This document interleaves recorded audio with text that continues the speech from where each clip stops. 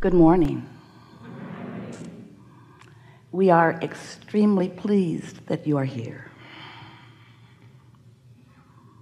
It is good to come together for the purpose of co-creating. Do you agree? Yes. You are knowing what you are wanting? Yes. Desire is feeling good to you these days? A desire that you are not contradicting with belief feels really good, doesn't it? But a desire that you don't believe, a desire that you doubt, not so much fun, is it?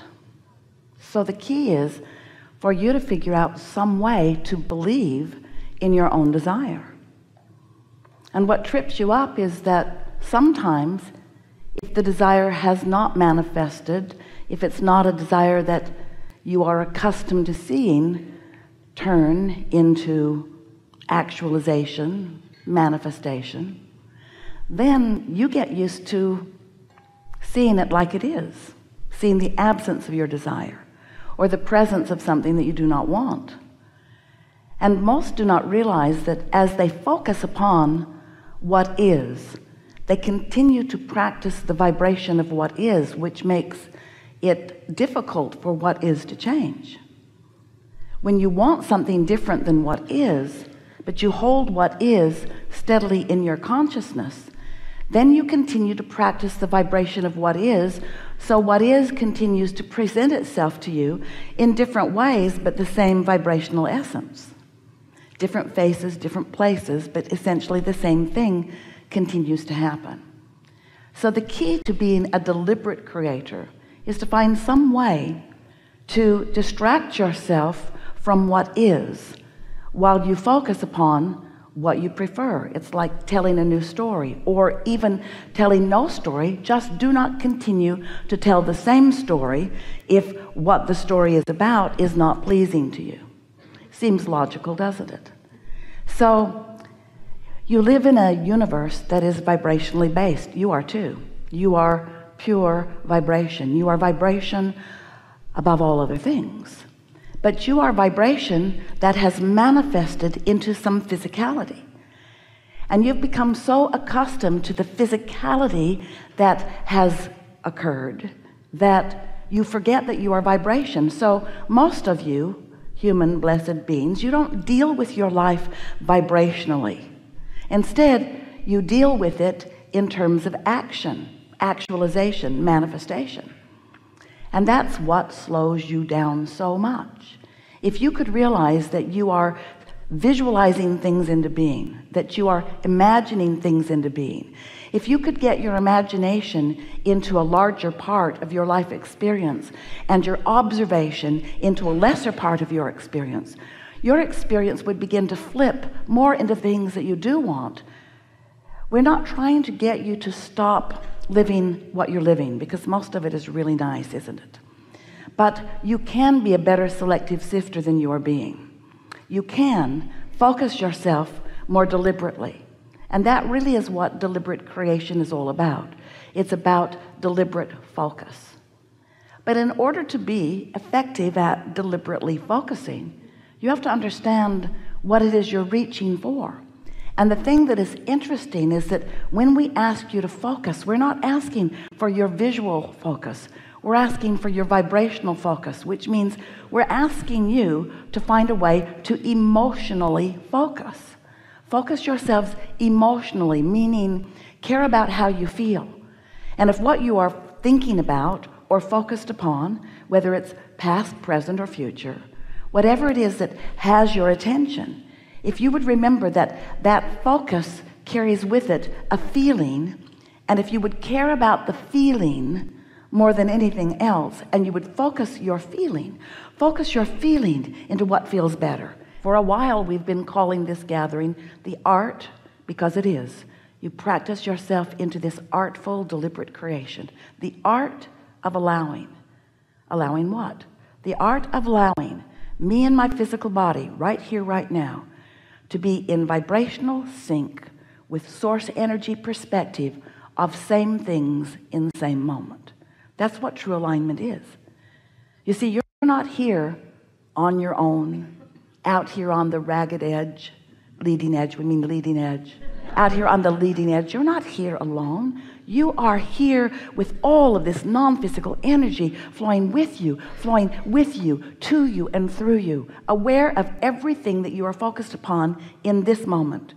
Not just knowing who you were when you were born not just knowing what your reason for being here is knowing who you are and why you are here and what you are about in this moment what you're about in terms of your vibrational alignment or not your vibrational allowing or not. So focusing really if you will think about focusing being in terms of focusing your feeling focusing yourself into feeling good finding a way to feel good. And sometimes that means don't think about that. That's a little tricky. I'm not going to think about that thing that I'm thinking about. I'm not going to think about that thing anymore. I'm not going to think about that thing that I keep thinking about. I don't want to think about that thing. I'm not going to think about that thing anymore because thinking about I don't want to think about that thing. I'm not going to think about this thing I can't stop thinking about this thing. Because when you give your attention to it law of attraction causes a relationship to begin between you and it. That's what law of attraction is all about.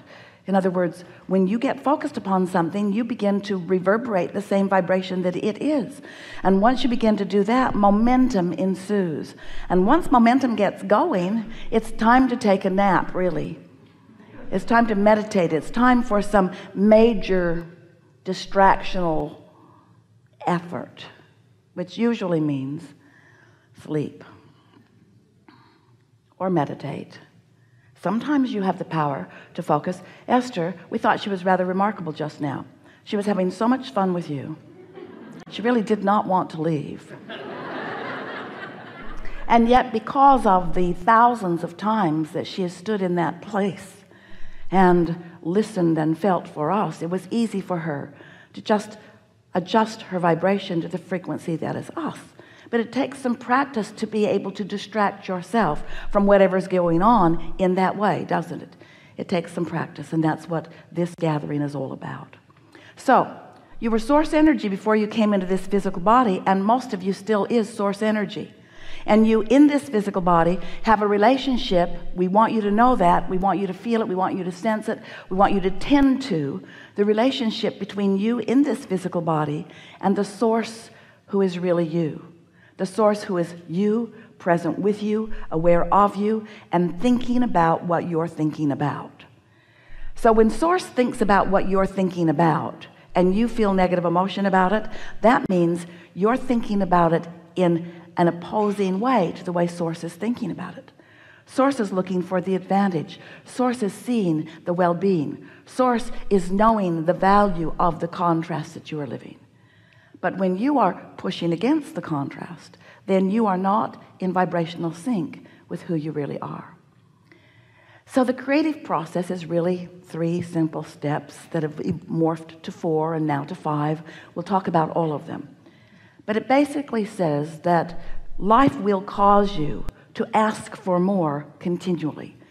And when you are in that phase where you are aware that something that you want is missing so you are asking for the improvement in your life by wanting this amendment to your desires. That's what we are calling step one. And when you are in step one that's usually when you're seeing a problem. It's usually when you are seeing contrast. It's usually when you're asking a strong question to which you do not know the answer. That's step one. Step one is an important step but step one will trip you up because it's easy for you to take your humanness your actualness your actionness and give your all to step one you're looking around I don't like that I don't like that and these are the reasons that I don't like this. I don't like it I want it to be like that but I don't like this. That's what step one is like. Step two is sources answering what you want. Now, if you're in step one, strongly in step one, asking, asking, asking, asking, asking for the improvement, asking, asking, asking, focused on the problem, focused on the question, then you're remaining in step one, even though step two has already taken place and what you have asked for has already come to be in a vibrational reality that we've been referring to as your vortex. It's a vibrational reality. Wrote a whole book about it.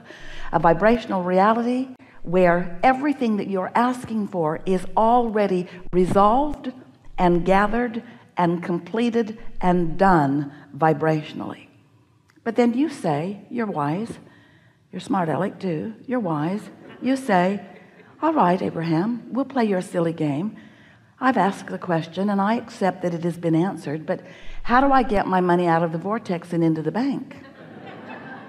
How do I get my lover to come home with me now? In other words it's very fine this vibrational reality that you have conjured cooked up or maybe even imagined Abraham but I want the reality. I'm not asking for the vibrational version. I'm asking for the real life see it smell it hear it taste it touch it lick its face version I want the reality of it. I want it to manifest for me. And we say that's step three. That's where you are so aware that step two has taken place. And you are proud of yourself for living step one and asking with such clarity that now you are in a place of relaxed expectation. You're in the receptive mode. You're in the mode where you are not tense and not worried. You're not struggling. You're not justifying and defending. You're not saying I need it. You're not yearning for it.